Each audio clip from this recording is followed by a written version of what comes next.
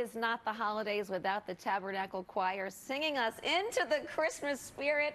And this season, they are celebrating their 20th year with an all star special narrated by Tony winner and Broadway legend Brian Stokes Mitchell. And he joins us now. Good to see you. Good Welcome to back. see you, Sara. It's nice to see you in three dimensions. I know, we've talked about you so much during the pandemic, and I'm happy that you're here with us today. But so this is not the first time that you have performed with the choir for a Christmas special. Uh, so tell us a little bit about this and being back on stage. You're back with the choir again, with the orchestra behind you. Yeah, I started with them. I think the first concert was maybe 15 years ago, and I performed with them a number of times. It's one of the most magical experiences ever because it's just like pure joy It coming from you. is. And if you watch the show, I think this is why it's PBS's top-rated holiday show every single year. Yeah. Because if you just want to feel good, and Yep. man, do we need to feel good these days? Yes. You know, it's a it's a, a show that you can watch and just kind of get reconnected to your joy space, your happy place. You get put in plugged into that holiday spirit. Yep. Um, but it's it's just a, it's an amazing amazing show. I, I was so happy I got to uh, to host it this year. And what's different about this year, as you said, it's a 20 year retrospective Yeah, of what's yeah. been going on. So I get to kind of give the audience a tour of the backstage Love and that. see clips of the last 20 years. It's like the best highlights reel The ever. The best of the best. It is. I have to say, I've, um, I've seen the show so many times. This is my favorite show, and I, Yeah, I would say yeah. that even if I weren't if I weren't hosting it, it Yeah. really is amazing. The highlights that I just watching the, uh, the the clips that they were sending me were bringing me to tears. I'm embarrassed to say, happy tears. Happy tears, yeah, and it, it, like you said, it's kind of the best of the best. You see everybody from the past uh, 20 years or so. But I mean, there are 40 amazing guest stars. I mean, I'm talking Grammy winners, Oscar winners, Tony winners. Give us a little sneak peek. Like, give us a name drop for us. Tell Oh, us name drop. Let's see. Uh, Audra McDonald, uh, Renee Fleming, Walter Cronkite. Be a lot of people that are no longer with us. Tom Brokaw, um, uh, Natalie Cole, Gladys Knight.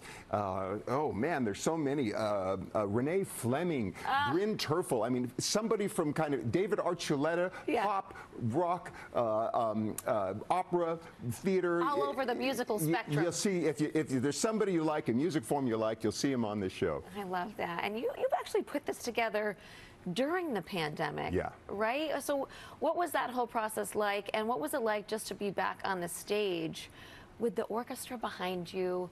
With It was a virtual choir with you. Tell me about it. Yeah, well, it's interesting because most of the time it was just kind of a skeleton crew that was skeleton crew of probably 20, 30, 40 people, you know, Right. television crew that were shooting it, but we were in this 23,000 seat auditorium, I think it is, um, with nobody in it. And it was kind of a, a bittersweet um, a moment when I first walked out on the stage, seeing that empty theater, because that's normal when we would be rehearsing it, but also there would be a choir on the stage ready to rehearse, the orchestra there, and we didn't have either. It was totally empty. So that's uh, I, I got to get this backstage tour of all of the things that were were uh, that you normally don't get to see. But we actually only had the orchestra there for one particular number. There's three new numbers that you, will be seen as well in, Yeah. in the show. And it was the first time the orchestra had gathered since the pandemic started. And then the choir is assembled virtually by the magic of editing. Oh my God, we did so many things virtually this year that, you know, it, I, that was kind of a bonus just to see how we could re, you know, reimagine how these things can come together. And I love that. But, you know, I want to talk about, you know, obviously you're, you have such a huge part of Broadway in, in New York and you're a major part of the Actors Fund. Tell me about the, the giving machines that we're seeing, because I just walked by one yesterday in Rockefeller Center.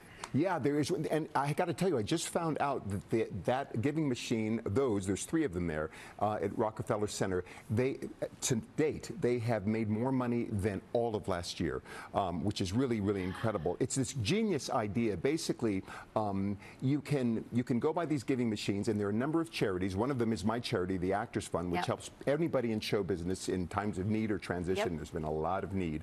Um, you can you can put a credit card in there and give uh, give a meal. You can give a, a, a- cow to somebody on another charity, or, or fresh water on on all these different charities. It's just a really brilliant way because I don't know about you, but we're still kind of dealing with this pandemic, getting through everything, and we're still kind of feeling a little rocky road. Yeah.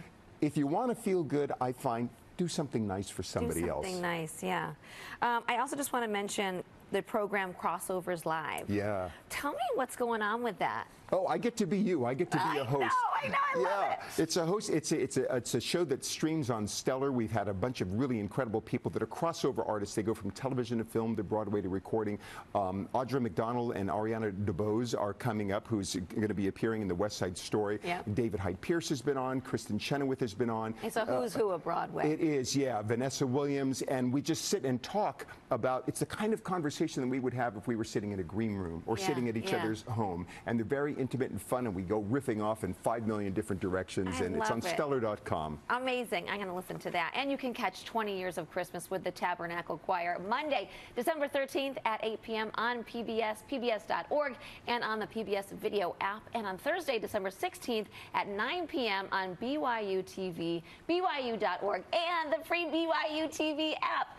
Brian, it's so good to see you. So Thank good you to so see much. you, Sara.